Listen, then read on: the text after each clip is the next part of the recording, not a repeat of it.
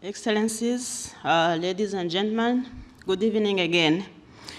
Uh, it's my pleasure to be here at the launch of the Compact 2025, uh, representing the Prime, uh, the Prime Minister of Rwanda, who is the member of the Leadership Council. And uh, again, I want to strongly convey my congratulations for, to IFPRI for championing the leadership for the Compact 2025. Dr. Shenggen, thank you again for your persuasive invitation to the government of Rwanda to join the IFPRI's long-standing trilogy to be among the first movers in the Compact 2025, as well as serving on the Leadership Council.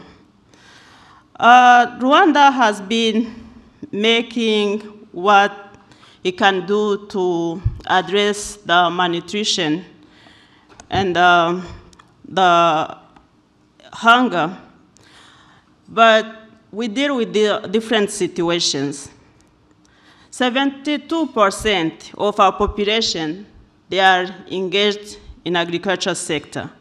These are not conventional farmers. They are small-scale holder farmers having less than half hectare of land, yet they only sit on more than 20% of arable land in Rwanda.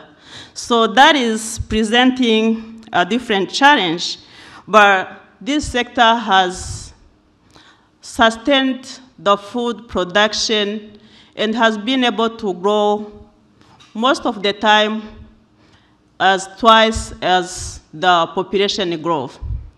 So this has been a big challenge for us.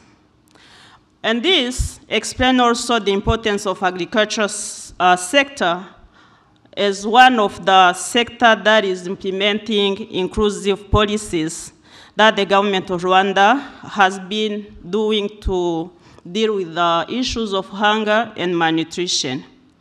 For instance, uh, we are currently implementing the third uh, phase of the strategic plan for agricultural transformation. And uh, under the agricultural and animal resource intensification pillar, the government of Rwanda has and keep has invested and keep investing heavily in soil protection measures as well as irrigation development to mitigate negative effects of soil erosion as well as drought associated with uh, climate change. Uh, since 20, uh, 2007, through the crop intensification program, land consolidation of those small pieces of land use of fertilizers and improved seed, coupled with uh, a decentralized extension system through farmers' cooperatives, have led to double, even triple crop production in uh, priority crops. One cow per poor family program that was initiated by His Excellency the President of Rwanda has doubled milk production in the country between 2010 and 2015. The school pro uh, feeding programs, especially providing milk to school kids of age between three and nine, are reducing dropouts, but also providing required animal proteins to the school kids in the poorest districts. Research to adapt biofortified beans, which are rich in iron and zinc, as well as uh, introducing the orange flesh sweet potatoes are going. The various kind of uh, social protection programs that are allowing poor families to have access to cash to buy food are being implemented. However, in a recent integrated household survey, which uh, show, uh, showed this year that the proportion of people living in poverty in Rwanda has dropped to 39.1% from 44.9%, which was in 2011. The stunting rate in kids has dropped from 44.2% in, uh, 2000, in 2010 to 37.9% in 2014, while extreme poverty rates decreased from 24.1 in 2010 to 16.3 in 2014.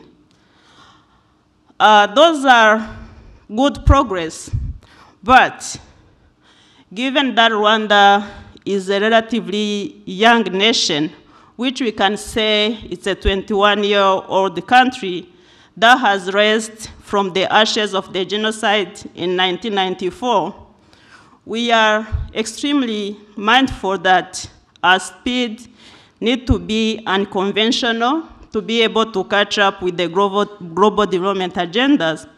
And that's why, as a nation, we have decided to partner with the IFPRI and the rest of the global for this Compact 2025. Given the, the good political will that we are enjoying, our goals in this journey are to keep developing and implementing evidence-based policies to adjust what we are doing the best, but also to scale up existing initiatives that are working. It's also important to keep creating, innovating new strategies. And we are hoping that from this Compact 2025, we are going to be able to achieve that. As implementers in the field, we tend to keep delivering, and sometimes we forget to look back and engage into new partnership to be able to shape up the future. We are hoping that the Compact 2025 is going to be instrumental in fine-tuning what we are doing and scaling up as fast as possible what we think is working for us. And uh, I thank you all for your kind attention.